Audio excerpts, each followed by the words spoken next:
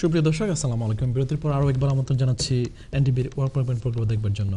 সুপ্রিয় দর্শক, আমরা আলোচনা করছিলাম tier two visa switching criteria এই বিষয়টা নিয়ে। সো আমাদের স্টুডিওতে আজকে উপস্থিত আছেন আমাদের কমিউনিটির বিশিষ্ট আইনজীবী জনাব লুথুর রহমান সাহেব। সো আমার আপনাদের যদি এই সম্পর্কিত কোনো প্রশ্ন থাকে, আপনারা আমাদেরকে কল করতে পারবেন আমাদের স্টুডিওর দেওয়া নাম্বারে যেটা হচ্ছে zero two zero double three nine seven three zero nine six এই ফোন নাম্বারে অথবা আপনারা আমাদেরকে ইমেল করতে পারবেন work permit at Europe dot com এই ইমেল অ্যাড্রেসে সো লুৎফর সাহেব আমরা যে বিরতিতে যাওয়ার আগে সরি আপনাকে ইন্টারাপ্ট করতে হয়েছিল আমার। যে বিষয়টা নিয়ে আপনি আলাপ করতে চেয়েছিলেন যে টিয়ার ফোর ডিপেন্ডেন্টও সুইচ করতে পারবে। প্লিজ ওখান থেকে যদি টিয়ার ফোর ডিপেন্ডেন্ট সুইচ করতে পারবে এটাকে বলে আবার রেস্ট্রিক্টেড কজ এটা আবার আনরেস্ট্রিক্টেড কজ না। এটা তো আমি প্রায় প্রোগ্রামে আপনি যদি রেস্ট্রিক্টেডটা আমাদেরকে এক্সপ্লেন করতেন তফাৎটা কি? তফাৎটা হলো রেস্ট্রিক্টেড কজ হলো আপনাকে এই দেশের এভরি মাসে এভরি মাসে তারা আঠারোশো থেকে দুই হাজার রেস্ট্রিক্টেড কজ দেয়। মানে এভরি ইয়ার। টার্গেট হলো টোয়েন্টি থাউজেন্ড রেস্ট্রিক্টেড কজ এবং সেখানে আপনার রেস্ট্রিক্টেড কজের রেস্ট্রিক্টেড কজ হলো মেইনলি হলো people who are coming from overseas এটা হলো মেইন ক্রাইটেরিয়া যারা ওভারসিজ থেকে যেমন এই দেশে যেমন ডাক্তার এবং ডাক্তার নার্স ওদেরকে কিন্তু এখন গভর্নমেন্ট রেস্ট্রিক্টেড কজের শর্টেজ অকুপেশনে নিয়ে আসছে। যার কারণে তাদেরকে ওর লিস্টের মধ্যে নাই। কিছুদিন আগে এটা নিয়ে নিউজে দেখছিলেন যে ওরা খুব একটা সমস্যা। পড়ছে রেস্ট্রিক্টেড কজের কারণে।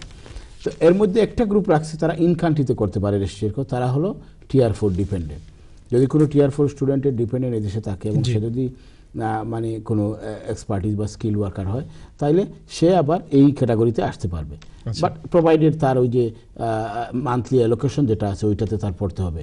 এটা হলো in terms of market test করতে হবে স্যালারি হাই স্যালারি হতে হবে এগুলো যদি মিট করতে পারে তাইলে সে ওইখানেও রেস্ট্রিক্টেড কোড হিসাবে ওয়ার্ক পয়েন্টে যেতে পারে।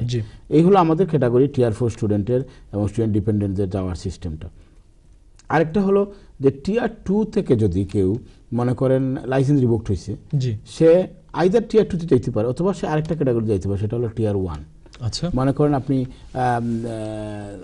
টিয়ার ফোর থেকে আজকে যেমন একজন ক্লায়েন্ট আমার কাছে সে টিয়ার ফোর এসে বলে আমি টিয়ার ওয়ানে যাব।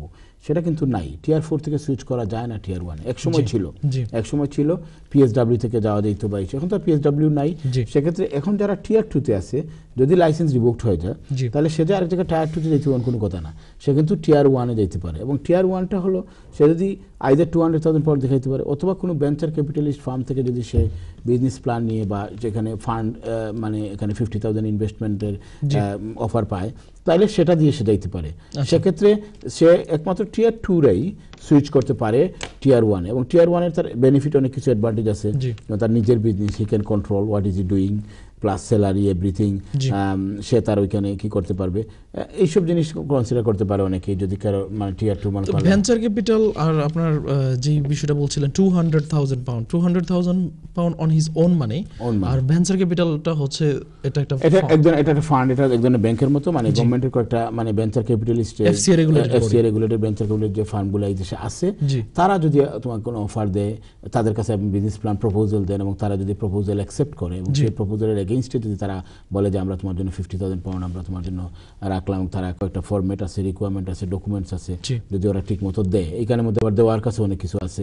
যদি ওরা ওদের রিকোয়ারমেন্ট যে ওদের বিজনেস আপনার বিজনেস প্ল্যানে প্রুভ করে যে যে কাগজগুলো দেওয়ার কথা সেগুলো দেয় আপনি আপনারগুলো দেন তাইলে দেয়ার এ গুড চান্স যে আপনি এখানে এখানে বাট এখানে তো একটা বিষয় যেটা হচ্ছে ক্যান্ডিডেটের তার ব্যাকগ্রাউন্ড ম্যাচ করে ভায়াবল বিজনেস প্ল্যান দিতে হবে যেটা হোম অফিসের খুব স্ট্রিক্ট ক্রাইটেরিয়া যে তোমাদের বিজনেস প্ল্যানটা এমন হতে হবে which is very viable in the market you have less competitors than any other business না স্বাভাবিক। এটা তো এটা তো অতি স্বাভাবিক। এটা ভিসা পাওয়ার জন্য দিলে হবে না। এটা সব ক্ষেত্রে। আপনি যে টিয়ার টুতেই ফর এক্সাম্পল মনে করেন যে আপনার কোনো রিলিভেন্ট ডিগ্রি নাই আপনি ধরেন আপনি আছেন ডিগ্রি সেলসে চলে গেলেন অ্যাকাউন্টিংয়ে আপনার ডিগ্রি অ্যাকাউন্টে চলে গেলেন সেলসে মানে রিলিভেন্টই নাই। জেনুইন ভ্যাকেন্সি অ্যান্ড সুইটেবিলিটি যেটা টিয়ার ওয়ানের বেলাও তাই। আপনি টিয়ার টুতে ছিলেন মনে করেন আপনি সেলস এন্ড মার্কেটিং ম্যানেজার এখন আপনি বললেন আপনি ফিজিওথেরাপি করবেন বা আপনি অন্যটা করবেন আপনি মনে করেন ছিলেন অ্যাকাউন্টেন্ট এখন আপনি বললেন আপনি করবেন সেলসের একটা গ্রোসারি স্টোর তাহলে হবে না। আপনি মনে করেন সেলসে যে বলবেন রেস্টুরেন্ট করলেন আপনার কোনো রেস্টুরেন্টের এক্সপিরিয়েন্স নাই। তো এইসব জিনিসগুলো আর অবশ্যই আর তাছাড়া আবার আপনার এমন একটা জিনিস থাকতে হবে সেটা হলো যে আপনার ইউনিক সেলিং পয়েন্ট থাকতে হবে। যে আপনি যেটা বিজনেস বাজারে অনেক অ্যাকাউন্টিং ফার্ম আছে। ফর এক্সাম্পল একটা ছেলে সে হয়তো একটা টায়ার টুতে ছিল অন্য জায়গায় অ্যাকাউন্টেন্ট তো ফাইন্যান্সিয়াল অ্যাকাউন্ট ম্যানেজার এখন সে বিজনেস প্ল্যান করতে গেল কিন্তু সে করতে গিয়ে দিল একটা অ্যাকাউন্টিং ফার্ম করবে সে। অ্যাকাউন্টিং ফার্ম তো সবারই আছে। তোমাকে কেন দিবে? ওরাই বা ফিফটি থাউজেন্ড কেন দিবে? ওই যে আপনার যে ভেঞ্চার ক্যাপিটাল সেও তোমাকে ফিফটি থাউজেন্ড কেন দিবে? সে তো দেখবে যে এটা তো সবাই খুলতে পারে। বাট তোমার একটা ইউনিক সেলিং পয়েন্ট থাকতে হবে তোমার স্ট্রেংথ দেখাতে হবে তোমার কি কোয়ালিটি আছে। বিকজ তারা ফিফটি থাউজেন্ড পাউন্ড ইনভেস্ট করছে এখানে তো রিস্ক ফ্যাক্টর রিস্ক ফ্যাক্টর আছে। যখন ইনভেস্ট করবে তুমি যে প্ল্যানটা দেখাবা যে আমি why am different from other people যখনই তুমি এটা দেখাইতে পারবা কনভিন্স করতে পারবা তখন তোমাকে তারা অ্যাপ্রুভ করে এটা ফান্ডটা অ্যালোকেট করতেছে। তখন হোম অফিসও কিন্তু এক্স্যাক্টলি সেম জিনিসও হোম অফিসও কিন্তু সেইভাবে দেখতেছে। যখন হোম অফিস দেখে যে yes he's got some good idea এটা নেওয়া যায়। দেন তারা দেয়। ইভেন তারা ফর টু সার্টেন এক্সটেন্ট তারা ইভেন কি করে? আপনাকে ওই ইন্টারভিউ নিতে পারে। মনে করেন আপনার বিজনেস প্ল্যান দিলেন তাতেও তারা কনভিন্স না। মনে করল যে এই business plan is like all general business plan তখন তারা আপনাকে ইন্টারভিউ নিবে নিয়ে দেখবে যে আসলে আপনি সেই বিজনেসের কি জানেন কি জানেন না কি অবস্থা অবস্থা এগুলো জানি না। তারপরে নেবে। আপনাকে তারপরে আপনার ভিসাটা দিবে। তো এই জন্য টিয়ার টু থেকে সুইচ করে কেউ আইদার টিয়ার টুতে যাইতে পারে অথবা টিয়ার ওয়ানেও যাইতে পারবে। থ্যাংক ইউ দুর্লভ আমাদের কিছু কল ওয়েট করছে আমরা কলগুলো নেই। হ্যালো আসসালামু আলাইকুম দর্শক। হ্যালো আসসালামু আলাইকুম। ওয়ালাইকুম আসসালাম। আমি হইতাম স্যার আপনার আমি হিউম্যান রাইট কেস করছিলাম। জি। আহ, আমার হাজবেন্ড এই আঠারো বছর আমি এই বারো বছর। আমরা বাচ্চা তিনজন ও দেশও জন্ম একজনের বয়স নাইন হয়ে গেছে আপনার. নাইন হয়ে যাব অক্টোবরও আর একজন হইলা ছয় আর একজন হইলা তিন Okay. তবে হিউম্যান রাইট কেস করছিলাম করা বাদে তারা রিফিউজ কইরা তারা আপিলও দিছে জি এখন আপিল করা বাদে দিও এখন তো কোর্টের ডেট দিছে আপনার আহ, নভেম্বরও জি মানে কি আমরা জানতাম সেরাম কিতা আপনার বালা জুইব দি আচ্ছা আপনার হিয়ারিং ডেটটা বলছেন যে নভেম্বরে নভেম্বর সো আপনাদের ওই অ্যাপ্লিকেশনে যে আপিলে কি আপনাদের each and every family member এখন আছে নাকি? জি। জি। ওকে আপনার আর কোনো প্রশ্ন? জি না আপনি জানতে চাচ্ছেন যে আপনার এই এই আপনার কেসটা কতটুকু পজিটিভ ইয়ে আসতে পারে? জি জি জি। থ্যাংক ইউ থ্যাংক ইউ আপনাদের আপনাদের কেসটা একটা ক্লাসিক কেস কারণ হলো কি আহ, যে আপনাদের আপনি একজন আপনার হাজব্যান্ড আঠারো বছর আপনি বারো বছর বাচ্চা নয় বছর বড় যেটা সেটা। আপনাদের কেসটা ভেরি স্ট্রং কেস এবং কোর্টে এগুলা দেখে দিবে। বাট এগেইন কোর্টে কিন্তু একটা হিউম্যান রাইটের ক্ষেত্রে বিশেষ করে বাচ্চাদের রুলে যারা সেভেন ইয়ার্স রুলে করে তারা কিন্তু কোর্টটা সাধারণত দেখে যে একটা বাচ্চা যদি ওয়ান টু সেভেন হয় আর ফোর টু ইলেভেন হয় তাইলে ওই বাচ্চা যে বাচ্চা সেকেন্ডারি স্কুলে মনে করেন চলে গেছে সেই কেসটা স্ট্রঙ্গার হয়। তারা মনে করে যে ওইসব বাচ্চারা দেশে যদি চলে যায় গিয়ে অ্যাডজাস্ট করতে পারবে না। মানে এটা ফুল হিউম্যান রাইট জিনিসটা রিজনেবল টেস্টে চলে আসবে। তা রিজনেবল টেস্টটা হলো যে আসলে তাদের জন্য রিলোকেট করে বাংলাদেশে গিয়ে বাচ্চাগুলো অ্যাডজাস্ট করতে পারবে কি পারবে না। এখন আপনারা যেহেতু হিয়ারিং গেছেন দেয়ার যে ভেরি গুড চান্স যা যেটা দেখবে আপনাদেরও আপনারা অনেক লেংদি টাইম এই দেশে এসেছেন more than eighteen 18 years, 10 years. Very এর জন্যই তো এইসব কেসগুলো সার্কামস্টেন্স বেস করে নির্ভর করে আপনাদের ভেরি গুড চান্স আপনারা অবশ্যই এটা পাইতে পারেন। ওকে থ্যাংক ইউ লুথরু সাহেব আমাদের আরও একটা কল ওয়েট করছে। হ্যালো আসসালামু আলাইকুম দর্শক। হ্যালো হ্যালো আসসালামু আলাইকুম। ওয়ালাইকুম আসসালাম। স্টুডিও মাত্র আপনি জি আপনি আমাদের স্টুডিওতে কথা বলছেন। প্লিজ আপনার প্রশ্নটি আচ্ছা। করুন। আমাকে ফোনের মধ্যে আনসার দিবেন। আমার সামনে টেলিভিশন নাই। প্লিজ জি জি বলুন। আমি একটা স্পাউস ভিসা লাগিয়ে অ্যাপ্লিকেশন করছিলাম দুই মাস হয়ে আছে আমার। জি। এখন পর্যন্ত তারা কোনো আপনি কি ব্রিটিশ সিটিজেনের স্পাউস স্পাউস ভিসা ব্রিটিশ সিটিজেনের স্পাউস স্পাউস স্পাউস জি ওকে আমার ওয়াইফকে আনতে চাইছে যে বাংলাদেশ থেকে দুই মাস হয়েছে ওকে বাংলাদেশ থেকে হ্যাঁ জি। এখনও তারা কোনো কিছু জানাই নাই। ওকে তখন আমি কি করব? আপনি দুই মাস ওইসে আপনার ওয়াইফে ফিঙ্গারপ্রিন্ট দিলাইছেন সিলেট না নি? জি হয় আচ্ছা দুই মাস আসলে টাইম বেশি নাই। এটা আজকাল তারা স্ট্যান্ডার্ড টাইম হলো তিন মাস। আপনার সময় আরও আছে। আপনার ডকুমেন্ট ফেরত দিলাইছেনি তারা? জি না। আপনি কি তা পোস্ট অফিসে যে এনভেলাপ দিছিলা এটা ও উদ্দেশ্যে যে সারছিলা লগে টিকিট টিকিট দিয়ে দিছিলা নি? সেলফ অ্যাড্রেস এনভেলাপ জি দিছিলা নি? জি আমার কাছে রিসিট আছে জি ওটার জি আচ্ছা তাই আপনারা ফেরত দিব আর আপনার ও উদ্দেশ্যের বিজনেস অ্যাড্রেসও ফোন করতে পারে। এমপ্লয়ারও গেছে এবং আপনার গেছে যে আপনি জব করা ওটা তারা সিকিউরিটি দেখতে পারে। বাট দুই মাস আসলে অনেক কেসে তিন থেকে চার মাস লাগে। সুতরাং ও তো দুই মাস দুই তিন মাস। মানে এখনও বেশি সময় গেছে না এটা আজকাল তারা একটু বেশি তিন মাস সময় লাগি যায় তিন থেকে চার মাসও লাগে কেউ এটা একটা ইমেল দেয় আপনি জানেন না ইমেল চেক করেন যারা নর্মাল তারা একটা ইমেল দেয় তারা পাইছে কইয়া। না আমি মেল এভরিডে চেক করি আচ্ছা তাইলে হয়তো বাট যে দেখবা আপনি চাইলে আবার তারা ইমেল দিতে পারবে বাট এখনও সময় গেছে না। দুই মাস is not a big deal মানে তিন মাস যায় তিন চার মাস যায় আচ্ছা আচ্ছা ঠিক আছে। আচ্ছা, থ্যাংক ইউ ভেরি মাচ ধন্যবাদ ধন্যবাদ দর্শক আপনার কলের জন্য। সো লুৎফ সাহেব আমরা যে বিষয়টা নিয়ে আলোচনা করছিলাম টিয়ার টিয়ার ওয়ানে সুইচিং ক্রাইটেরিয়ার বিষয়টা আমার একটা প্রশ্ন আছে যেটা সে হচ্ছে টিয়ার টু থেকে টিয়ার ওয়ানে যদি কেউ সুইচ করতে চায় তাহলে কি সেই এমপ্লয়মেন্ট নিজে টার্মিনেট করে দিয়ে সুইচ করতে পারবে? নাকি তার রিভোক হলে বা তার এই বিষয়গুলো আমাকে সে- যদি সে যে কোনো সময় যাইতে পারবে সেটা কোনো ইস্যু না। আপনার মনে করেন আপনি এখন আছেন টিয়ার টুতে এখন আপনার এমপ্লয়মেন্ট ভালো লাগতেছে না? আপনি বলতে পারেন যে আমি টিয়ার ওয়ানে যাব সুইচ করব আপনি এমপ্লয়ারকে নোটিশ দিতে পারেন যে আমি তিন মাসের মধ্যে চলে যাচ্ছি। অথবা আপনি প্ল্যানও দিতে পারেন যে আমি অথবা রিভোক হইলেও যে আপনাকে করতে হবে এমন না। কারণ যেহেতু আপনি সুইচ করতে পারতেছেন।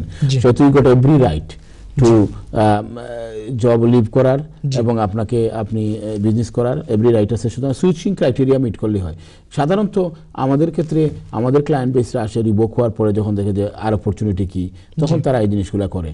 কারণ নর্মালি ধরেন টিয়ার টু থেকে যদি জবে যায় তাহলে হয়তো বা বিজনেস এর প্ল্যান করে না। বাট বিজনেসের প্ল্যান করলে অপরচুনিটি আছে। এটা তো বিজনেস এটা অপরচুনিটি আছে মানে সে বলতে পারে যে আহ, যেহেতু আমাকে আমি তিন বছর যাবত সে ফর এক্সাম্পল তিন বছর যাবত আমি কোম্পানিতে জব করছি so I have enough experience to be self employed হ্যাঁ। এই এই ইস্যুটাতে এই করতে পারে।